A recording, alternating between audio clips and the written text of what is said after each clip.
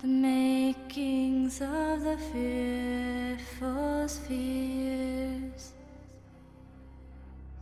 The tide it stole away her grace, but depths they wouldn't